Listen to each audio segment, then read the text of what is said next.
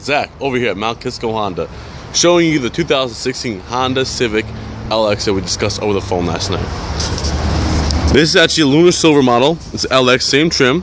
I have uh, quite different few colors in stock. We'll do a quick walk around. The wheel covers are not on. That's why you see a black wheel. There's a nice cover that goes displayed right on that lays right on top of the wheel. This car has some plastic all over it because it just got off the truck about maybe today or tomorrow. Sorry, yesterday or day before. We'll do a quick walk around. Again, it's a lunar silver model. The Civic has been redesigned for 2016. Came out about, I would say, almost a month ago. Um, comes your, it's a standard 2.0 liter motor, a little more power than the previous model. We open up the door, to show you the inside. Excuse the plastic everywhere because it just got off the truck.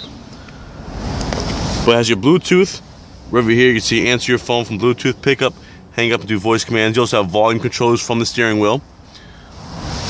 Over here is where your reverse camera will display. You also have the Bluetooth to play music as well as answer the phone from the car. Obviously, your standard AC, ABS brakes, power steering, power windows.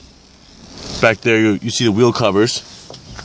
It's new design for the cloth interior. You have the black cloth with a stripe going down the center. The trunk button's located over here to open up the rear trunk. You can also do it from the remote.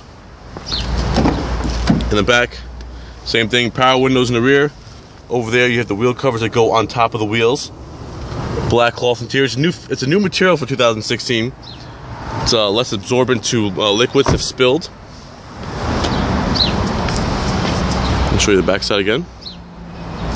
Again, Doris Zach over Mount Kisco Honda showing you the 2016 Honda Civic LX.